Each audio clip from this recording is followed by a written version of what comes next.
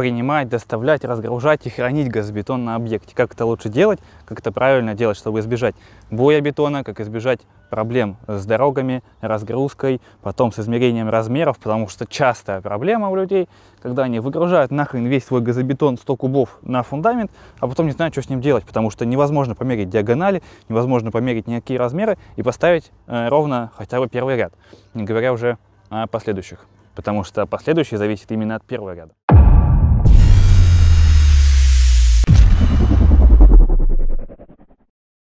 Привет! Продолжаем наш сериал о строительстве своего дома от А до Я, дома в частности из газобетона. Сегодня мы переходим уже к следующей серии. Надеюсь, ветер и шум горелки не сильно вам мешает, прошу прощения. В предыдущей серии мы разгрузили газобетон, оставили его на правильное хранение, ну, перед этим доставили его. Сегодня следующий этап это гидроизоляция. Вообще гидроизоляция формально требуется по СП-15, это каменная армокаменные конструкции, а также СТО НАК тут мне придется залезть в телефон и процитировать эти конкретные требования. Пункт 13.2.2 СТО НАК, в нем говорится, что при укладке первого ряда блоков на основание из капиллярно-пористых материалов следует устраивать отсечную горизонтальную гидроизоляцию. Теоретически, да, это нужно делать, но на практике уже сделан вывод, что это совершенно не обязательно, потому что современные фундаменты сделаны из э, бетонов класса B22,5 и выше. При этом марку по водонепроницаемости они имеют дубль V4 как минимум, и э, поэтому ну, какая-то вода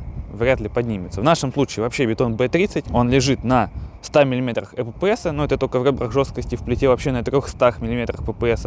И также, как вы видите, э, сделана пленка по песчаной подушке, поэтому ну, я не уверен, что даже хоть капля воды поднимется капиллярно по бетону. Но мы все равно выполняем это формальное требование. Благо, это получается совершенно финансово незатратно, довольно-таки дешевое мероприятие. Лучше сделать, чем не сделать, потом какие-нибудь проверки от производителя или технадзора, будет геморрой, ну его нафиг, лучше сделаем сразу. Тем более, что это стоит довольно-таки дешево. Ну, в нашем случае мы делаем одним слоем. Почему? Потому что у нас вообще УШП. Для УШП гидроизоляция это по сути не нужна, потому что это теплый контур, там воды никогда не будет, потому что э, плита у нас постоянно имеет высокую довольно-таки температуру, защищена со всех сторон ЭППС, МППС, пленками, бетон, э, как я уже сказал, высокой марки. И получается, что, ну, как бы это выброшенные деньги с одной стороны, а с другой стороны, ну, это более-менее спокойствие и не за что переживать. Делаем и делаем. Вообще есть два вида гидроизоляции, два варианта, которым, из которых можно сделать эту гидроизоляцию. Первый — это гидроизоляционные растворы, а второй — это битумные рулонные материалы, ну, как и в нашем случае. Сначала поговорим быстро о гидроизоляционных растворах, э, потому что это не самый традиционный способ, редко кто им пользуется, но все же так вкратце скажем. Гидроизоляционные растворы они имеют нулевой капиллярный подсос. Вот что такое капиллярный подсос газобетона. Именно из-за из этого и делается гидроизоляция. Свежий раствор, в котором достаточно много влаги. Сверху газобетонный блок. И газобетон начал высасывать влагу из раствора, поднимая ее по своим капиллярам вверх.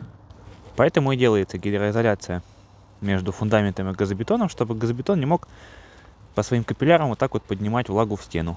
И объемную гидрофобизацию, что исключает вообще какой-либо подъем влаги по капиллярам из бетона в газобетон в нашем случае. Наносятся эти растворы прямо на бетон, потом на них сразу кладется газобетон. Есть один нюанс у них, у этих гидроизолирующих растворов, это то, что становится необязательным армирование первого ряда кладки газобетона. А, почему? Потому что у нас получается так, что газобетон четко встает с хорошим трением на фундамент. То есть они сцепляются, по-простому склеиваются газобетон с фундаментом. И тогда из-за этого температурно-усадочные деформации, они у нас как раз-таки сдерживаются за счет сцепления с бетоном. Но я все равно рекомендую даже при применении гидроизоляционных растворов э, армировать первый ряд кладки в любом случае. Ну а, собственно, при применении второго варианта гидроизоляционных материалов, это битумные рулонные материалы. В любом случае нужно армирование э, первого ряда кладки, потому что у нас первый ряд становится условно скользящим по фундаменту, то есть они независимы друг от друга, нет между ними какого-то сильного сцепления. Да, у нас приклеивается, наплавляется гидроизоляция, и потом раствор имеет вот с нашей, по крайней мере, э, гидроизоляцией с мелкозернистой, среднезернистой подсыпкой хорошее сцепление, но в любом случае это считается, что сцепление между газобетоном и фундаментом нет. И для этого, чтобы нам как-то э, чем-то поглотить температурно-усадочные деформации в газобетоне, ну, надо проармировать этот ряд газобетона. Ну и, как я уже сказал, э, гидроизоляционные растворы – это довольно-таки нетрадиционный способ гидроизоляции. Традиционный э, вот он – это битумные рулонные материалы.